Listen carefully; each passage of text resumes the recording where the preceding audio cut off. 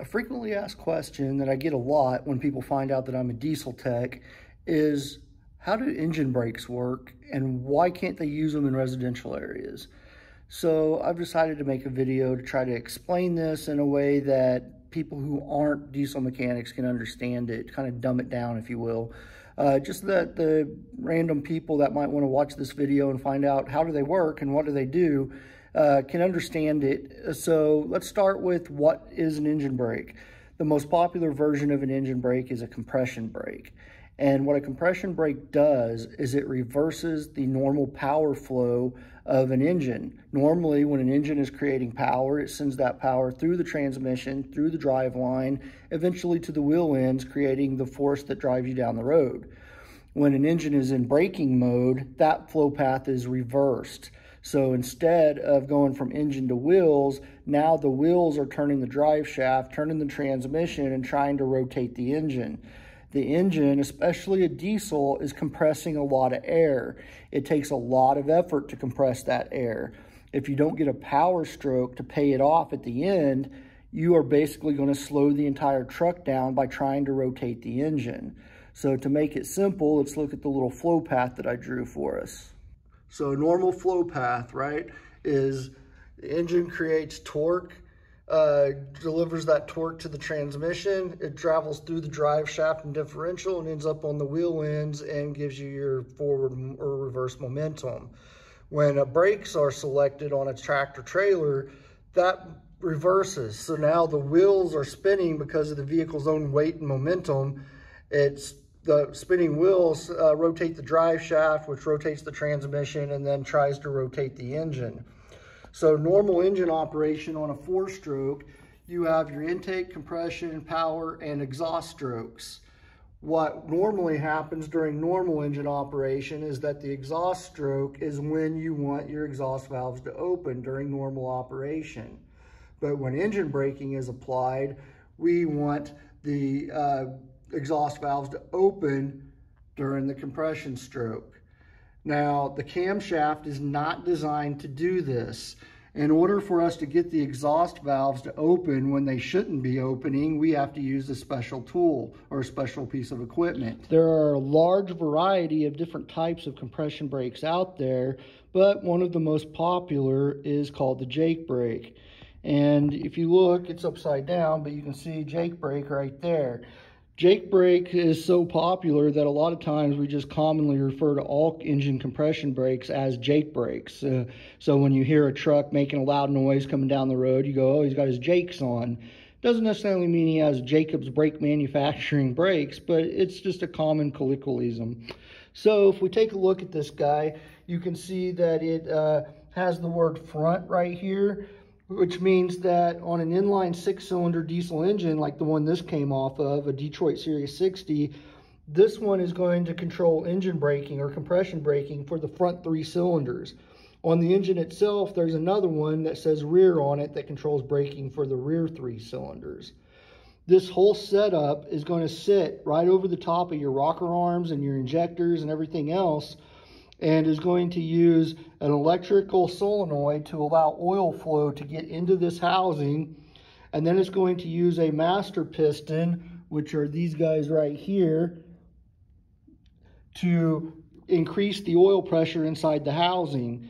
That increased oil pressure is going to cause the slave pistons, which are these guys right here, to push down on the exhaust valve. And it's all going to be timed to happen when the engine is nearing top dead center of the compression stroke.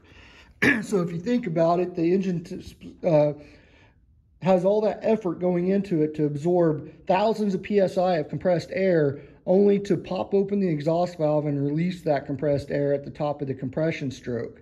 Hence, no power stroke. So the way it works is oil flow from the engine's lubrication system will come into the housing and it will get stopped by this normally closed solenoid right here.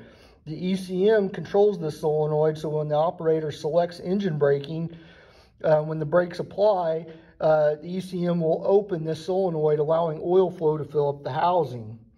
One of the rocker arms will start to rise to and it'll push this master piston up into the housing. When it does that, it tries to push the oil back out the direction it came from, but inside of this housing, there's a check valve that prevents that oil from flowing back the direction it came from. Since it has nowhere to go, the master piston pushing the fluid tries to compress fluid, and since you can't compress the fluid, PSI gets really high. That increased pressure then forces these slave pistons to push down against the uh, exhaust rocker arm or the exhaust valve bridge, depending on the type, pushing the valve open. And all of this is specifically timed to allow it to do it at exactly top dead center of the compression stroke. Well, maybe not exactly, but real close. So these things are the reason you see all those signs that say do not operate engine brakes in residential areas is because you're taking thousands of psi of air pressure and releasing it all at once through the exhaust system and it's really loud. So of course people who live close to areas where trucks go by don't want to hear that all night long so that's why they have the signs posted. Troubleshooting these things if the brakes on a truck aren't working is fairly easy.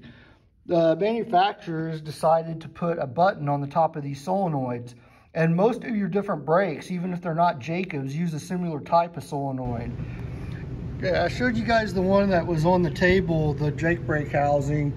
Uh, this is where it mounts on this Detroit Series 60 engine. It would go right here above all these valves. Of course, you would have your uh, rockers like these guys are all installed. You'd have all that on there. So we took off a lot of stuff here, including the uh, rocker shaft and stuff for uh, teaching people how to work on these. But if we come over here, you'll see that uh, you got the one housing that's still on here. So the one I showed you in the classroom is the front housing for the first three cylinders. This is the Jake brake housing for the rear three cylinders. Each cylinder on this engine has uh, three rocker arms. You have the injector rocker arm in the middle and then the intake and exhaust rocker arms on the outside. So that means that the cam lobe that's in the middle for this cylinder is the one that controls the injector. If you look right above the injector rocker arm, you see the slave piston right here. So whenever that injector is being pushed up by the cam lobe to actuate the injector, this rocker arm will push up on the slave piston, pushing it into the Jake brake housing. As long as this solenoid is allowing oil flow through it, then that pressure from that master piston pushing the oil in the housing will cause the uh, slave pistons up here on the other side to come down and those slave pistons right here will push on the exhaust rocker uh, causing the exhaust valve to open at TDC of the compression stroke thereby releasing all that compressed air eliminating the power stroke and slowing the whole truck down. On the solenoid there's a button right here at the top if you push this button while the engine's running, you're bypassing the electrical part of this system and allowing the brakes to work with the hydraulics that they normally would. So if the driver said they weren't working, I push this button down and it does work, I know I have an electrical issue. If it still doesn't work, then I'm looking for things like bad O-ring seals, cracked housings, uh, improper slave piston adjustment, you have to adjust the lash between the slave pistons and the exhaust rockers to make sure that they open at the right time and the right amount.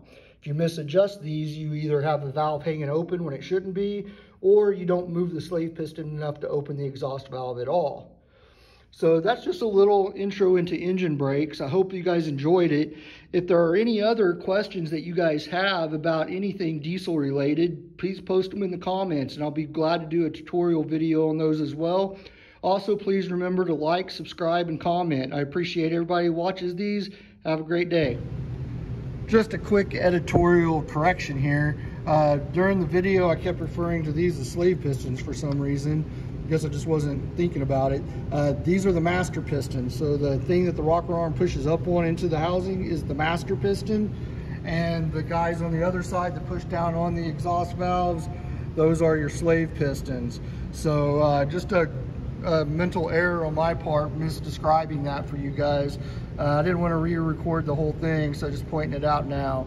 So master piston controls the slave piston. Just keep that in mind. All right, guys, later.